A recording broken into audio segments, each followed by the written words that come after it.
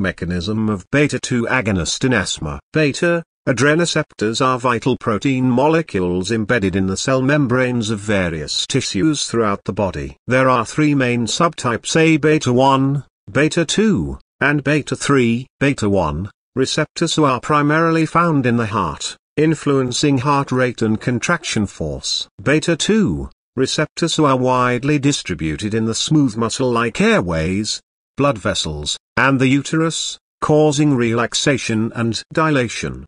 Beta-3, receptors who are mainly in fat cells, promoting lipolysis, fat breakdown, for energy generation. In the beta-2 drug mechanism. Step 1. Binding to beta-2 receptors. The beta-2 agonist drug molecule fits snugly into the beta-2 adrenoceptor, like a key unlocking a door. Step 2. G protein activation. Inside the cell, the occupied beta-2 adrenoceptor activates a nearby G protein. Step 3. Adenylate cyclase activation. The activated G protein stimulates an enzyme called adenylyl cyclase. Step 4. Cyclic A, M, P increase. Stimulation of adenylyl cyclase increases the conversion of adenosine triphosphate, A, T, P, to cyclic adenosine monophosphate. The rise in cyclic A, M, P activates protein kinase A, P, K, A. Step 5.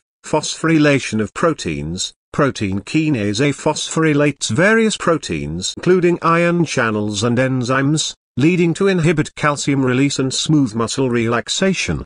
Bronchodilation